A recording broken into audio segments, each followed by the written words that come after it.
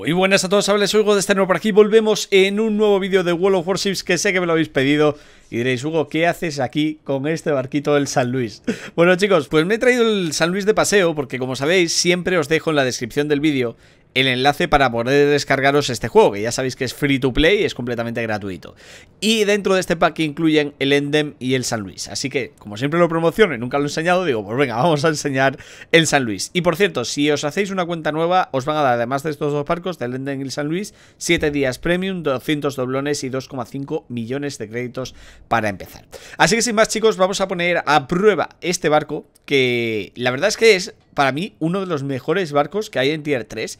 Eh, yo no sé por qué la gente no le da la importancia que se merece el San Luis. Hay acorazados en tier 3, ¿no? Entonces mucha gente ya... Existe un acorazado de tier 2, que es el Mi Casa, y no sé si existe alguno más, pero en teoría creo que es el único acorazado de tier 2. Pero en tier 3 ya empieza a haber acorazados, con lo cual la gente suele pillarlos porque destrozan a los cruceros que tienen muy poco blindaje. Sin embargo, los acorazados tienen un problema en estos tiers, y es que tienen poca precisión. Y ahí es donde destaca este bicho, porque no solamente tiene muy buena precisión, buen tiempo de recarga y una cantidad de cañones absurda. No, en serio, tiene demasiados cañones este bicho. Yo no sé por qué tiene tantos cañones. Pero eh, este, este, esta cosa puede destruir absolutamente todo lo que se le ponga delante. Y lo vamos a poner a prueba hoy. El problema que tenemos es que hay dos portaaviones. Con lo cual es fácil que nos pongan como objetivo. Y no tenemos curaciones. Porque estamos en tier 3. Con lo cual, en caso de que nos hagan daño, va a ser daño permanente. Con 29.500 puntos de vida no es precisamente que al San Luis le sobrevida para recibir daño. Pero eh, puede tanquear decentemente bien. No es un barco que muera normalmente de un solo impacto, salvo que os hagan ciudadelas, lo cual es bastante fácil de costado, no solamente contra el San Luis, sino contra cualquier otro barco de este tier que sea un crucero por parte de los acorazados enemigos. Así que chicos, lo que vamos a buscar en esta batalla es posicionamiento. Como siempre, este, este vídeo va a ir más bien de enseñar cómo posicionarse con varios barcos. Voy a hacer dos partidas, una va a ser con el San Luis y otra va a, ser, va a ser con el Smolensk, para ver las diferencias de posicionamiento, pero cómo de los tiers bajos aprendemos para colocarnos en los tiers altos. Una cosa que a mí me mola de este juego es además los mapas de tier bajo, porque curiosamente son los mejores. Este es un mapa súper complejo, tiene un montón de islas, ricovecos donde esconderse y tal, y además es un mapa pequeñito para ajustarse a la velocidad de los barcos, que como podéis ver incluso en un crucero, pues apenas pasan los 22-23 nudos a máxima potencia, con lo cual eh, tiene que ser pequeño el mapa para que no tardéis una hora en encontraros, y aún así tardáis un poquito. Con lo cual ver estos mapas en tier alto a mí me encantaría, da mucho a combate cercano, eh, permite el ocultamiento en numerosas islas y permite movimientos rápidos de rusheo con destructores, etcétera, con lo cual bastante guay y, y me encanta pues poderlo disfrutar en estos tiers. En todo caso, tenemos un Wyoming delante, se nos lanza, como no, el barco italiano sobre nosotros, vamos a intentar focusarle y ahora sí vamos a girar para enseñar todos nuestros cañones. La cantidad de baterías absurdas que tenemos en el costado del barco, y no solamente lo guay de este barco es que tenga todos estos cañones en un lado, sino es que también los tienes en el otro, con lo cual si empiezas a disparar desde el otro lado, puedes perfectamente enganchar todas estas salvas de cañones también al barco que te venga por sorpresa. Por ahora lo que vamos a hacer es intentar ayudar a bajar el acorazado enemigo. Y el truco de esto es usar las incendiarias, ¿vale? Está de costado y es tentador desde luego lanzarle perforantes, pero el daño que vais a hacer a esta distancia con un crucero de este calibre a perforantes a un acorazado en tier 3 no es muy elevado, ¿vale? Si lo pilláis muy cerca, sí, porque le podéis colar las penetraciones. Me cago en el torpedo, no me va a dar. vale, bueno. Que de cerca sí porque le podéis colar las penetraciones. Pero a, distancia alejada, lo normal es que le deis en zonas bastante protegidas, sobre todo los cañones y tal. Con lo cual no merece la pena. Lo que es interesante aquí es incendiarlo. Y de hecho veréis que los incendios en este barco con tantos cañones, al final por daño de saturación vais a hacerlos, ¿vale? Y de hecho ahí, mirad, le colamos otro incendio. La idea aquí es que sea el incendio, el fuego, que da igual el tier en el que esté hace el mismo daño, que sea el fuego el que vaya bajando al enemigo, ¿vale? Mientras vosotros únicamente hacéis una labor de lanzar fuego de saturación para intentar mantener estos incendios prendidos en la cubierta del barco enemigo. La cosa va bastante bien, les hemos hecho 11.000 eh, de daño y sigue subiendo el daño. Eh, Vamos a intentar colarles un incendio más porque me da que este se va a apagar a tiempo Y el barco se está saliendo de nuestro rango de disparo Con lo cual lo suyo es intentar que alguna de estas últimas salvas le acabe incendiando y podamos rematarlo. La cosa está complicada pero lo hemos logrado, hemos logrado hacer otro incendio Con lo cual ese acorazado prácticamente está muerto ya. Mientras tanto, vamos a cambiar el objetivo y vamos a disparar ahora al otro acorazado que viene por el otro flanco intentando focusear todo el fuego que tenemos a ver si podemos con un poquito de suerte eh, bajarle ese eh, Nunca me sale el nombre. Kiyaz Suborov o algo así se pronunciará. El bicho este es bastante fuerte, ¿vale? Eh, hay que tener cuidado porque este no es tan fácil de matar y además tiene muchos cañones, con lo cual él también nos puede hacer un poco de fuego de saturación. Por suerte lo que está haciendo es dispararlos a, de uno en uno. La cosa parece ir bastante bien, ¿no? Seguimos haciendo fuego, seguimos incendiando, vamos a intentar mantenerlo a distancia y de nuevo lo obligamos a girar. Y fijaos lo que estoy haciendo, que es dar marcha atrás y marcha adelante continuamente para evitar la mayor cantidad de los disparos posibles del crucero que nos está focuseando. Este juego eh, no es eterno, ¿vale? Como podéis ver, ya por fin me ha dado, he esquivado muchísimas balas suyas, pero al final me ha acabado dando porque, eh, bueno, pues hay un momento en que el barco se os frena, ¿vale? Si vais muy para atrás e intentáis cambiar para adelante, el cambio es mucho más lento que si lo hacéis al revés. Eh, como podréis ver, estamos de nuevo intentando focusearle. Es complicado, le hemos roto el timón, hemos tenido suerte, pero es complicado porque es bastante rápido, con lo cual nuestras balas tardan en llegar y tenemos que calcular muy bien la distancia. Estamos a punto a punto de reventarlo, vamos a ver si nos llevamos la kill. Le hacen un incendio, esto tiene mala pinta, que nos lo van a robar. Pero bueno, eh, lo tenemos de costado, es una pena. Podríamos haber puesto balas perforantes, pero bueno, nos lo roban y se lo llevan con ese incendio y el último golpe.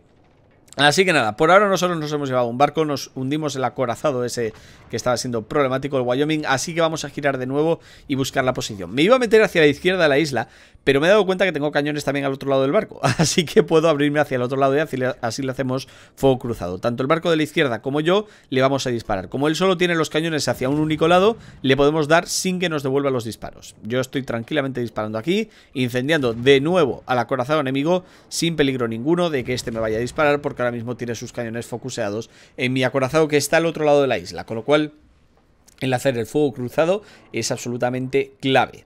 Vamos a seguir abriendo fuego, por ahora no me está dando el costado, con lo cual opto por seguir con balas perforantes. Estamos a distancia, perdón, con balas incendiarias. Y el problema que tengo es que me acaban de soltar una pana por la derecha de cuidado. Hay barcos, eh, así que voy a tener que meterme a la isla esta, porque si no me voy a comer el fuego cruzado yo. Así que vamos a evitarlo metiéndonos lo más posible pegados a la isla que tenemos aquí a nuestra derecha y utilizando nuestros cañones de nuevo para intentar bajarse a este tío. Se ha pispado de que le estoy haciendo bastante daño, así que si os fijáis estaba cambiando los cañones para apuntarme a mí, pero es demasiado tarde, nos lo llevamos a cañonazos. Eh, los enemigos de la derecha sí que me están focusando, están buscando ahí la oportunidad de hacer sangre y bueno, pues lo que voy a intentar es mantenerme un poquito a salvo mientras cambian sus cañones a otros barcos para aparecer luego por el otro costado de la isla e intentar reventar. Tengo que tener cuidado porque si os fijáis hay varios objetivos que han desaparecido eh, al otro lado justo de la isla que tengo delante. Con lo cual estoy con pies de plomo para que no nos puedan pillar.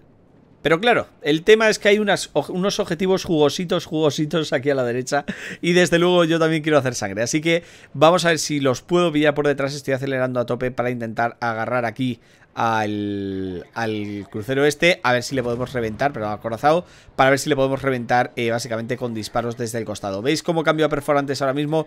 Pero justo con tan mala suerte que empieza a corregir el rumbo él porque le vienen unos torpedos y las perforantes pues se me van a morir de risa, ¿no? Porque me va a dar el culo del barco y poco voy a poder hacer ahí para eh, darle yo.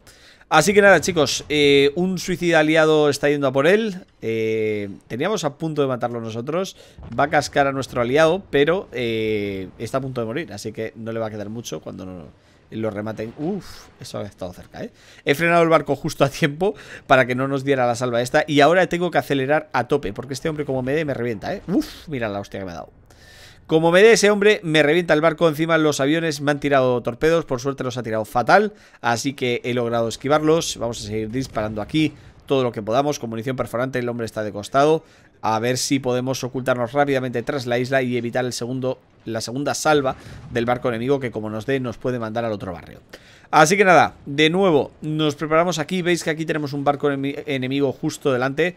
Voy a lanzarme de cabeza contra la isla, no me interesa salir de morros contra él. Si tiene buena cadencia de disparo, y la tiene, porque veis que dispara cada 2-3 segundos Me va a reventar, así que lo voy a hacer, es pegarme a la isla y salir en marcha atrás. Estoy esperando a ver si me ha acorazado o se lo lleva o me lo deja lo suficientemente tocado como para rematarlo yo.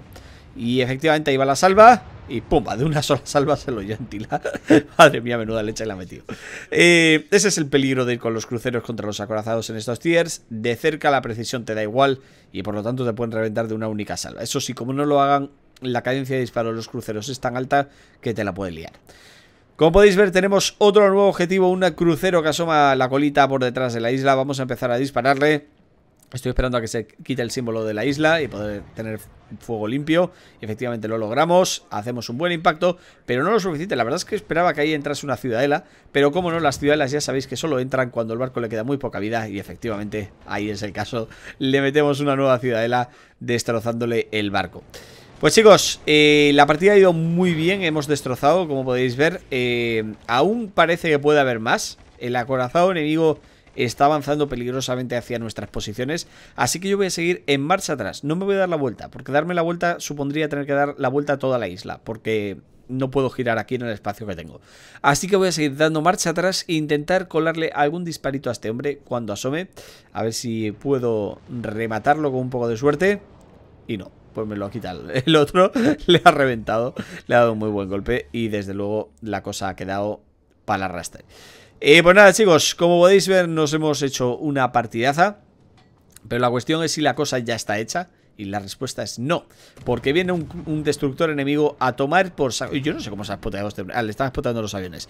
Porque es que si no, no tenía ningún sentido. Pues nada, vamos a empezar a dispararle. Le disparo la primera salva con perforantes, pero voy a cambiar rápidamente incendiarias. Es complicado darle a un destructor a esta distancia, porque hace S y es facilísimo que te esquive las balas. Sin embargo, se ha quedado a nada de vida. Y esto, con el fuego de saturación que tiene este barco, que dispara tantos cañones, es muy fácil que le enganche una sola bala, ¿vale? Es que con una sola bala lo puedo matar. Así que vamos a intentar calcular a dónde va. Y calculo que más o menos ahora en el giro a la derecha que iba a hacer para esquivar al otro barco, pues puede caer más o menos por la zona. Y efectivamente, como veréis, ¡Pumba! Lo mandamos al otro barrio, lo hundimos y así logramos ganar la partida. ¿Y por qué digo que logramos ganar la partida? Porque quedan dos portaaviones, pero no hay tiempo de partida, se va a capturar la base antes, no los vamos a lograr matar, así que sin más vamos al resultado. Bueno, como podéis ver, hemos hecho un poquito de daño, 40.000, pero en este tier está muy bien. Así que sin más, vamos a la siguiente batalla, chicos, donde os voy a enseñar el Smolensk, que este barco que a mí me encanta. Vamos a saltar un poquito y vamos a mitad de batalla. Fijaos cómo a pesar de estar jugando ahora en tier 10 voy a seguir más o menos los mismos trucos con las islas. Vienen aviones eh, a atacar a nuestro barco aliado, por ahora no me han espoteado, tengo los antiaéreos desactivados, así que lo que voy a hacer es aprovechar la isla para conseguir cobertura y que esos aviones no me spoten. El Smolensk es sumamente débil, sumamente vulnerable a cualquier disparo que te hagan por el frente o ligeramente angulado. Si estás completamente costado, lo más probable es que te hagan sobrepenetración. Pero yo tengo una super habilidad, un poder secreto, que es que nunca me hacen sobrepenetración, sino que me revientan. Así que nada, en cuanto aparecen los aviones, ponemos el turbo aquí en las antiaéreas, vamos a intentar reventarlos y efectivamente eliminamos una gran cantidad de ellos después de que hayan hecho esa pasada. Lo acabamos de hecho con todos ellos, nos cargamos cuatro aviones. Esto tiene unos antiaéreos que no veas, pero el problema que tiene es que los antiaéreos para poder utilizarlos tienes que estar muy expuesto y es muy fácil que te los peten a disparos otros barcos, ¿vale? Así que nada, como podéis ver tenemos objetivos al otro lado de las islas, vamos a empezar a disparar y lo hacemos desde detrás de la isla mientras se pueda. No quiero quedarme muy al centro del círculo porque este mapa es un incordio, es muy fácil que te empiecen a hacer fuego cruzado, pero mientras tanto podemos empezar a abrir fuego tranquilamente desde aquí atrás.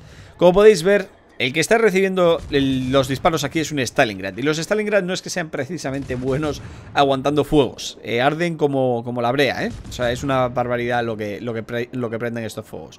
Vamos a tener una suerte regular, pero como podéis ver, las balas cada vez que caen le hacen un daño más o menos significativo. Que al final estas cosas se van acumulando, ¿no? Porque parece que se rompen todas las balas, pero si va sumando más los fuegos, al final el daño va incrementándose. Y efectivamente es algo que estamos jugando. De vez en cuando voy a intentar cambiar el disparo para asustar a otros barcos de la zona, pero como podéis ver estamos en el humo, tenemos la oportunidad de disparar a este Stalin y encima le van torpedos, con lo cual, ya que tiene que reparar o los incendios o las inundaciones, vamos a aprovechar de nuevo para abrirle fuego, intentar mantenerlo incendiado y iluminado como un árbol de Navidad, mientras que los torpedos aliados hacen el resto del trabajo de bajarle las grandes porciones de vida esas que tiene, porque este barco, ya sabéis, tiene una cantidad de vida tremenda y puede tanquear lo que no está escrito. Pero bueno, la cosa va más o menos bien.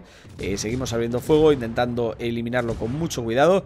Eh, los otros barcos nos están disparando a ciegas, básicamente. Estoy moviéndome, no me estoy quedando quieto en, el humo. Estoy siempre marcha atrás o marcha adelante. Y como podéis ver, otro nuevo incendio caza ahí al Stalin. Lo que vamos a hacer ahora es, sabiamente, cambiar a perforantes. los disparos incendiarios están muy bien para hacer incendios, pero ya tiene dos. Es muy difícil que hagamos un tercero ahí. Así que vamos a cambiar a perforantes, que esto pega que no veas. Ya veis lo que estamos haciendo de daño eh, tranquilamente, ¿eh? Y justo, lógicamente, después de que nadie me ayude durante todos los disparos, al final alguien viene y hace la última salva y se lo lleva y lo roba. Esto es lo típico de World of es el pan nuestro de cada día. Pero bueno, en todo caso, vamos a disparar al otro colega y eh, como vemos que se mete detrás de la piedra, pues vamos a tener que salir de aquí y cambiar de posición. ¿Vosotros habéis visto lo que meten las perforantes de este bicho? Es que parece que no, pero esto, como no te den zonas hiperacorazadas, en plan las torretas, eh, esto mete daño, ¿eh? Es que te puede hacer 5000 por salva y disparando cada dos segundos. Es que es muchísimo daño. Es que te baja enseguida cualquier tipo de barco. Sobre todo si estás a corta distancia. Pero claro, el problema que tiene el Smollens es que también se juega la vida. O sea, si no logra hundirte el barco, está muerto, porque te acercas a él y, es que de una salva te vuelas al, al fácilmente. Con lo cual tienes que jugar mucho con la distancia, estar a una distancia suficientemente cercana para poder disparar y estar a más de 10 kilómetros para que no te vean. Porque para mí es imprescindible, hay gente que decía que no, y sinceramente creo que no tienen ni idea de lo que están diciendo, que no te metas el ocultamiento en este barco porque de base tiene 11 con no sé cuántos. Pero es que es absurdo, es que ese kilómetro y pico te da la diferencia en muchas cosas. Por ejemplo, los radares es que hay radares, pues tú puedes estar disparando y, de hecho lo vais a ver en esta partida, creo, que van a mandar un radar a 11 kilómetros y justo me salvo porque tengo los 10 kilómetros estos. Entonces, la ventaja es sustancial y el tener casi 2 kilómetros más para poderte escapar también está muy bien. Así que yo creo que es imprescindible llevar ocultación en este barco eh, para optimizar al, máximo eh, el potencial, ¿no? Eh, estamos disparando todo lo que tenemos. Estamos rezando también porque no nos den. Por desgracia nos van a dar porque la gente tiene mucha precisión. Yo no sé cómo. Yo cuando le disparo los moles les doy una de cada 100 balas. Pero bueno, efectivamente estamos intentando mantenernos angulados para que las balas enemigas no nos puedan hacer nada. El Smollens rebota bastante bien balas de bajo calibre. Con lo cual, eh, si estáis contra un acorazado, si es un acorazado el que os dispara, es mejor que le deis el costado para que os haga sobrepenetración. Pero si es un crucero, a larga distancia, sobre todo, si la anguláis bien, el 90% de las balas no os van a hacer nada. Eh, rebota muy bien, especialmente el morro del Smoles lo hace, lo hace de lujo para rebotar si, si tenéis la angulación y estáis a larga distancia y contra cruceros de no demasiado alto calibre en las balas. Con lo cual, en esas condiciones tenéis que saber muy bien contra qué os enfrentáis en este barco para entender eh, si podéis arriesgar o la posición que, toméis, que debéis tomar y todo esto. En todo caso, vemos un nuevo objetivo, vamos a empezar a abrirle fuego. Esa salva tiene muy mala pinta, está viniendo hacia nosotros. Me he metido en el humo y estoy frenando a ver si me logro escapar y efectivamente lo logramos hace muy poquito daño, pero me ha hecho gastar el humo porque estoy en medio del círculo y eh, bueno, pues eh, no sé hasta qué punto podré seguirle disparando sin salirme del humo. Y efectivamente, como podéis ver, justo me acabo de salir, con lo cual tengo que parar de disparar para volverme a meter para atrás. Esperaba que se pusiera otra pelotita de humo, pero no lo hemos logrado. Así que nada. Bueno, lo que, lo que pasa es que me acabo de salvar de una buena hostia, porque eso me ha disparado a mí y se ha ido para atrás de la bala. Y bueno, eh, espérate que no me estado disparando a mí, que acabamos de descubrir que tenemos un colega detrás. Este compañero me da que está haciendo los disparos de manera bastante sustancial. El humo tiene sus ventajas y sus contras, ¿vale? La parte buena del humo es que eh, te protege, la parte mala es que como dispares te van a ver igual. Encima tú te crees que estás en el humo y que te vas a proteger, pero no. Es lo que le pasado a este hombre que, disparó una salva desde el humo y bueno, pues le empezó a focusar todo el mundo. Por suerte a mí no me dieron y he podido curarme y como podéis ver tengo prácticamente el barco entero de nuevo. Vamos a empezar a focusar a este hombre que está a lo lejos. Llevamos ya 75.000 puntos de daño, que está muy bien. Tengo una media de unos 100.000 de daño con el Smollens, eh, lo cual es muy muy buena media. El Smollens desde luego puede hacer más, es, es, una bestia. Lo que pasa es que hay partidas en las que te haces 300.000 de daño y hay otra partida en la que haces cero porque te vuelan nada más entrar al combate. Entonces, es un barco bastante consistente si lográis evitar el combate, pero si os hace un ruseo y tal, a veces lo pasa mal, ¿no? Necesitáis sobre todo, es imprescindible con el Smoles que el equipo os acompañe y os espotee. Y en esta partida el equipo lo está haciendo de puta madre. Está manteniendo visión en todo momento sobre casi todos los enemigos. Con lo cual ahí lo están haciendo de 10. Lo cual es raro en World of Warcraft. Pero el mantenernos esta visión es clave porque me está permitiendo a mí no parar de disparar por prácticamente en ningún momento. ¿no? Seguimos abriendo fuego ahí continuo. El problema que estamos teniendo es que todo este espoteo viene muy bien. Pero el problema es que la base nos la están capturando, ¿vale? Tienen la base central. Nosotros estamos intentando recuperar los aros exteriores. Pero nos metemos pronto o puede que nos ganen, la partida a puntos. Daos cuenta que han perdido dos barcos, nosotros hemos perdido dos barcos, estamos igualados. Con lo cual estoy intentando poner potencia al máximo y meterme eh, dentro de, la zona esta central. Me están abriendo fuego y lo hacen con bastantes ganas, como podéis ver. Eh, me están haciendo bastante daño. No sé quién leche es el que me está disparando, porque justo no he mirado a ver quién era, pero es un incordio. Pero nos hemos encontrado una sorpresita aquí que me ha encantado. Tenemos un destructor ahí quieto, así que eh, ya que está aprovechando la cobertura de la isla para disparar, nosotros vamos a hacer lo mismo Y como no se lo esperaba, pues le empezamos a disparar y le metemos unas cuantas salvas que le van a poner un poquito de los nervios. Mientras tanto, le he jodido, por cierto, los, los lanzatorpedos. Vamos a girar de nuevo y vamos a meternos al interior para intentar eh, ayudar en la captura. Lo bueno que tiene el Smolensk es que se lo puede permitir. De nuevo, el ocultamiento esto de 10 kilómetros me permite estar oculto de todos los cruceros, esencialmente, eh, salvo que usen el radar, y me permite incluso rivalizar con destructores. ¿Por qué? Porque aunque tenga mejor ocultamiento que yo, si logro ponerme a distancia de disparo, o sea, vamos a ver, si me spotean están a menos de 10 kilómetros, ¿vale? Con lo cual es muy fácil que desde el momento que el destructor me dispare o alguien le dispare a él, lo tenemos a huevo, porque a 10 kilómetros no se escapan de un Smolensk. Con lo cual ahí es donde este barco a mí me parece súper guay como mata destructores, pero esto funciona contra todos, menos contra los franceses. Los franceses se mueven tan rápido que las balas del Smolensk les cuesta muchísimo acertar y además te pueden perforar el blindaje del Smolensk de costado. Con lo cual, eh, bueno, de costado y no tan de costado, ¿eh? El Clever al Smolensk lo revienta. Eso sí, como el Smolensk pilla el Clever, también lo revienta. Esto es, alto riesgo, alta recompensa.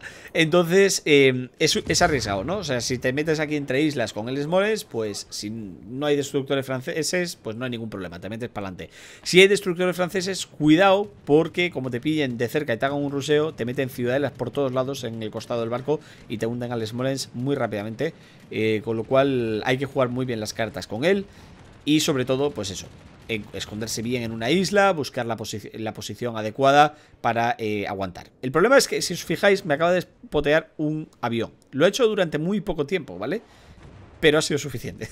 la hostia que me han metido.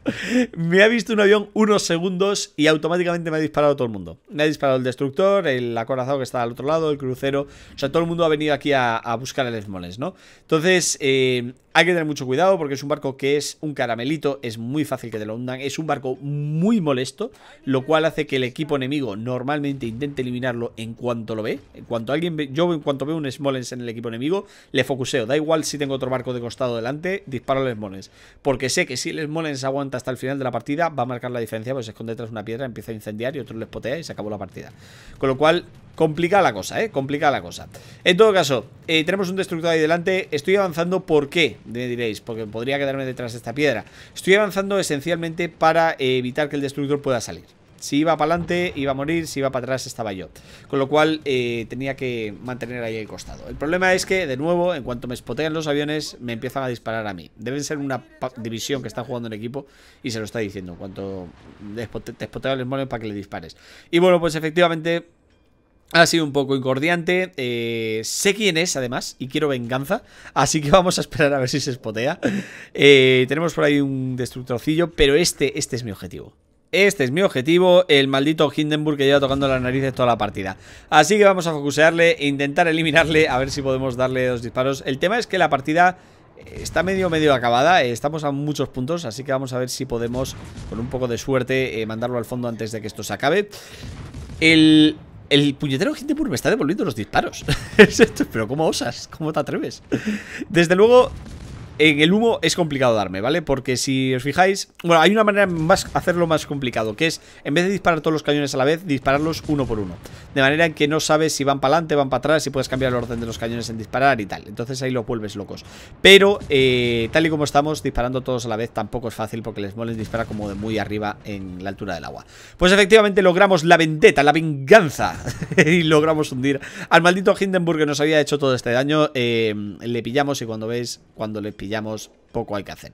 De nuevo, solo quedan unos pocos puntos. Eh, los barcos enemigos están intentando reposicionarse en el exterior, pero se meten en el círculo o la partida está acabada y es imposible ya que entren primero porque sacamos superioridad numérica, segundo porque parece que se están yendo fuera del círculo y tercero porque eh, tenemos muy buenas posiciones cogidas aquí en el interior. Eh, cualquier barco que intente entrar va a recibir fuego cruzado y por lo tanto va a morir. A mí me hace mucha gracia la gente que se va corriendo del mapa, ¿vale? Los que salen del círculo y se van corriendo a la esquina, como ese hombre. O sea, ¿por qué lo haces? Quiero decir, entiendo que, que ya está perdida la partida, ¿vale? Y lo que está intentando es salvar el barco. Pero ¿por qué intentan salvar el barco? No sé si lo sabéis, pero hace bastantes actualizaciones, hace muchos, yo creo que hace años ya, metieron que da igual si te destruyen o si salvas el barco, pagas lo mismo de mantenimiento del barco. Con lo cual no tiene ningún sentido. Bueno, nos jodieron una torreta delantera. Eh, no tiene ningún sentido correr y huir, porque lo más interesante es que te quedes, mueras y hagas la mayor cantidad de daño posible para conseguir más dinero que compense el pago del barco. Pero huir sin disparar para salvarte no tiene ningún sentido en las partidas normales. Pero ninguno. Entonces, me extraña que la gente lo siga haciendo tanto. Es como yo creo que lo hacen más para fastidiar a los otros jugadores, ¿sabes? En plan, ah, no me vas a matar pero no tiene sentido matemático porque pierdes dinero. Entonces, bueno. En todo caso, el barco este se ha ocultado detrás de la isla. Vamos a empezar a abrir fuego, pero el tiempo ya está ajustado y por lo tanto la partida va a acabar y vamos a acabar con muy buena posición dentro del equipo. De hecho, vamos a acabar segundos, si no recuerdo mal. Así que chicos, eh, espero que os haya molado la partida. Os recuerdo que el juego es completamente gratis y lo podéis descargar eh, desde el enlace de la descripción del vídeo con el código BOOM que os he dejado. Recibiréis, eh, si sois nuevos en el juego, dos barcos, el Ending en San Luis, 7 días premium, 200 doblones y 2,5 millones de créditos. Así que chicos, espero que os haya gustado estas partidas, sé que me lo habéis estado pidiendo mucho el World of Horses, así que por fin lo hemos vuelto a traer al canal y como podéis ver los resultados, no está nada mal la performance de Les Chicos, esperando que os haya molado el vídeo, os animo a darle a like, a suscribiros si no lo estáis y queréis uniros a la familia y nos vemos en el próximo episodio. Hasta luego, capitanes.